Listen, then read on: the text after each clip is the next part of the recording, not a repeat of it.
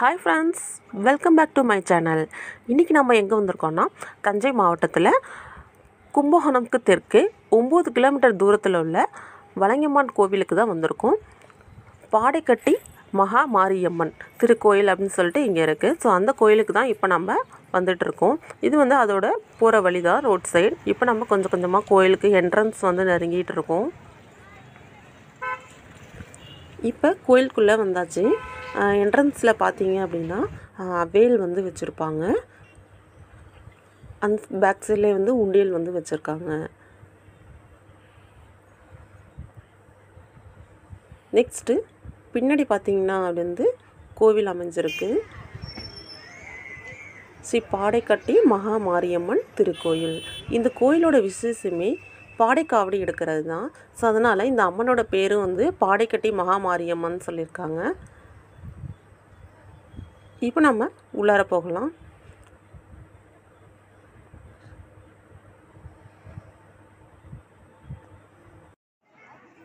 உள்ள சைடில் பார்த்தீங்களா கை கை மாதிரி கால் மாதிரி ஒவ்வொரு அமைப்பில் வந்து ஃபுல் உருவம் அந்த மாதிரிலாம் செஞ்சு வச்சுருப்பாங்க. இந்த அம்மனுக்கு வந்து நம்ம வேண்டிக்கிட்டு அது மாதிரி நம்ம வாங்கி வச்சோம் அப்படின்னா நம்மளோட நோய்கள்லாம் வந்து சரியாயிடும். அது மாதிரி இந்த கோவிலில் மாவிளக்கு போடுறது வந்து ரொம்பவே ஃபேமஸ் ஆனது. என்ட்ரன்ஸில் பார்த்திங்கன்னா ஃபஸ்ட்டு மாவிளக்கு போட்டு அதுக்கப்புறம் தான் அம்மனை போய் பார்ப்பாங்க. இது வந்து கோயில் வந்து உள் பிரகாரம். சுவாமி சன்னதி இதுதான். வரிசை எல்லோரும் கீழே நின்றுட்டுருக்காங்க சுவாமி இமேஜஸ் இது கோவிலோட பார்த்திங்கன்னா வெளி பிரகாரம் கோவிலை சுற்றி வந்து வெளியில் வர்றது. இப்போ நம்ம கோவிலோட அமைப்புகள் பார்த்தாச்சு.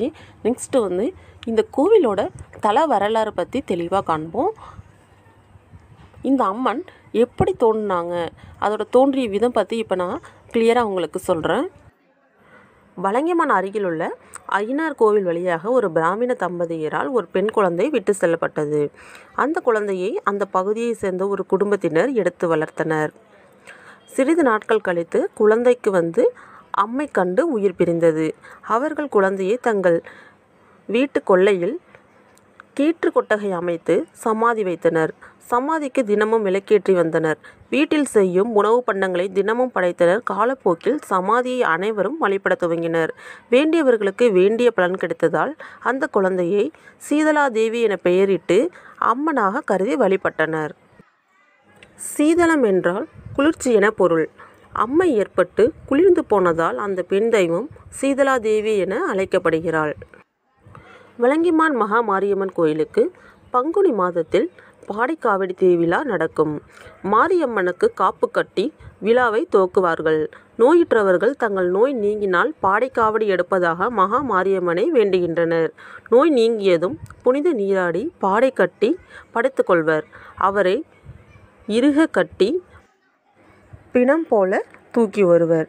தாரை தப்பட்டை முழங்க ஊர்வலமாக இவரை கோயிலுக்கு தூக்கி வருவர். கோயில் வாசலுக்கு வந்ததும் அர்ச்சகர் அவர்கள் மீது புனித நீரை தெளிப்பார். அப்போது மயங்கி கிடந்தவர் உயிர் பெற்று எழுவது போல நடிப்பார். அவருக்கு விபூதியும் குங்குமமும் தரப்படும். இறக்க இருக்கும் தருணத்தில் அம்மாள் இவர்களை காப்பாற்றுவதாக ஐதீகம். கண் நோயால் பாதிக்கப்பட்டவர்கள் திருமண தடை பார்வை இழந்தவர்கள் அம்மை நோய் கண்டவர்கள் ஆகியோர் இங்கு வந்து குணம் பெறுகின்றனர். இந்த கோயிலில் முக்கியமான வழிபாடு பாடைக்காவடி ஆகும் இந்த கோயிலோட பிரகாரத்தில் பார்த்தீங்க அப்படின்னா பேச்சியம்மன் இருளல் மதுரை வீரன் விநாயகர் எல்லா சாமியுமே இந்த கோவிலில் இருக்காங்க பிரகாரம் ஓரத்தில். இந்த கோவிலோட தல வரலாறு பற்றி இப்போ நம்ம பார்ப்போம் தச்சனின் வேண்டுகோள்படி சக்தி தேவி அவனது மகளாய் பிறந்தாள். தச்சன் சிவபெருமானை வெறுத்தான். ஆனால் சக்தியோ சிவனையே திருமணம் செய்து கொண்டாள். தச்சன் யாகம் செய்தபோது சக்தி யாகத்தையில் விழுந்து மீண்டும் இமயமலையில் அவதரித்தாள். சக்தி தேவியின் உருவம் நெருப்பில் குளித்ததால் சிதைந்து போயிற்று. எனவே திருமால் உலகத்தை காப்பாற்ற சிவபெருமானை வேண்டி அழகிய சக்தியை உருவாக்க கேட்டார். அவ்வாறு உருவான சக்தி பல தலங்களில் அமர்ந்தாள். இவற்றை சக்தி பீடங்கள் என்றனர். இந்த பீடங்கள் நூற்றி எட்டு தான். ஆனால் சக்தி பீடங்களையும் மிஞ்சும் வகையில் சில கோயில்கள் அமைந்தன. அவற்றில் ஒன்றுதான் வலங்கைமான் மகா மாரியம்மன் கோவில். ஓகே ஃப்ரெண்ட்ஸ் இப்போ நம்ம இந்த கோயிலோட அமைப்பு தலை பெருமை தலை வரலாறு என்னென்ன நேர்த்தி கடன் சிறப்பு அம்சங்கள் என்ன எல்லாமே நம்ம இப்போ கிளியராக பார்த்தாச்சு.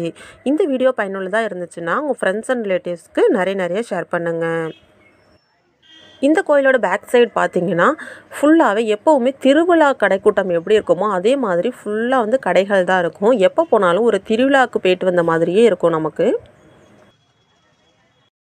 இந்த வீடியோ பிடிச்சிருந்துச்சுன்னா லைக் பண்ணுங்கள் ஷேர் பண்ணுங்கள் அதுக்கு முன்னாடி இந்த சேனலை சப்ஸ்கிரைப் பண்ணாதவங்க கீழே இருக்க ரெட் கலர் பட்டனை ப்ரெஸ் பண்ணி சப்ஸ்கிரைப் பண்ணிக்கோங்க. பக்கத்தில் இருக்க பெல் ஐக்கனையும் மறக்காமல் கிளிக் பண்ணிக்கோங்க. அப்போ தான் நாங்கள் அப்லோட் பண்ணுற எங்களோட எல்லா வீடியோட நோட்டிஃபிகேஷனும் உங்களுக்கு வரும்.